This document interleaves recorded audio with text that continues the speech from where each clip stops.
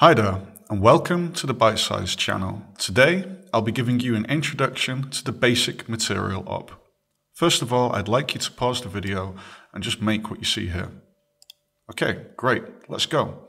So, if we click in between the cube and the transform, and we type in basic material, we get the basic material op. Now, if we click here in this little colored section, we can pick different color values for the shape. Just try that out, find something that you like. I'm gonna go for this kind of like cold blue. Okay, um, you can also use basic material to add a texture to a mesh. So I'm now going to make a texture op. I'm gonna grab my favorite picture, which is of course the beach. And as you can see, this has now been added to all the sides of the cube.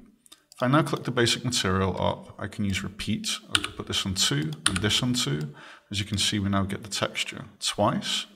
Let's put this back. And we can also scroll on X and Y to put a texture where we'd like it to be. Okay, we also have the texture opacity, which is very handy. So I'm now going to just do something a little bit out of the box. I'm going to make an image compose op. And I'm going to add to a, a new version of the stripes op.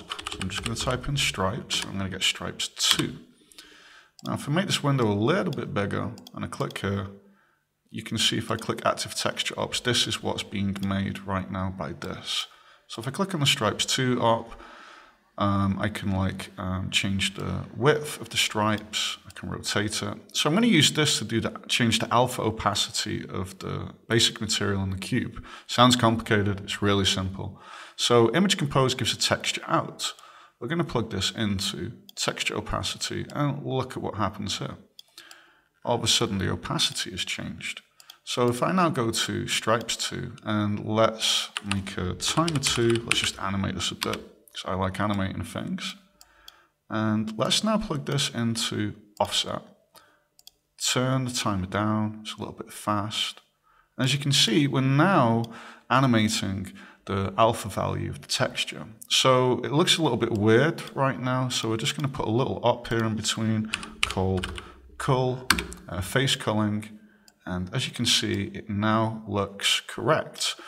So this is just one of the really simple tricks that you can do with basic material. The most important thing to remember is it doesn't um, take into account any lighting. It's always just going to show everything exactly as it's given. Uh, I hope that this tutorial has been handy to you. If you have any questions or comments, please feel free to leave them in the, in the comment section below or to leave something on the forums. Thank you. Bye.